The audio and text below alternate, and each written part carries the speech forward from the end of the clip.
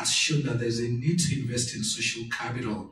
So, as an immigrant coming into the new place, I think one of the first things that I try to encourage people to do is to find people that you share the same ideals, people probably from where you are from, that are going to support you and show you what they have done to get to where they are, all the things they have navigated, and how well they have navigated those roads to get to where they are.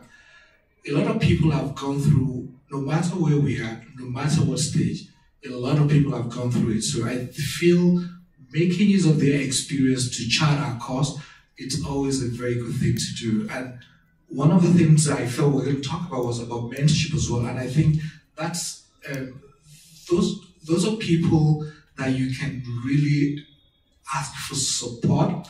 Um, education, academic, and medical, and also social support as well. The important thing is to seek out. If you don't seek out, it's going to be very difficult to know what's available to us. So seek out, reach out, use resources like Vitendo Africa, use resources that are probably available online, use resources within the local community, I, I know that a lot of people are willing to help because we've all been there. We've all been in places where we're the only one trying to navigate through the system, hitting our heads against the block, not knowing what to do. And anybody who has gone through that experience is willing to mentor other people, is willing to show other people who how they've done it. So I think it's important to reach out. Don't be shy. I know that a lot of people, a lot of times, we're shy because we, we're not sure what we're going to receive.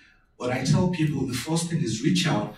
If the people who reach out do not respond immediately, don't take that as a snub. A lot of people are very busy. Um, sometimes I personally I receive over 300 emails in a day. It's impossible to address all of them. So if somebody sends out, if you send an email to somebody that you see as a mentor that could be of help and they don't get back immediately, give them a nudge. People are willing to help. We must also do our part to reach out and ask for that help.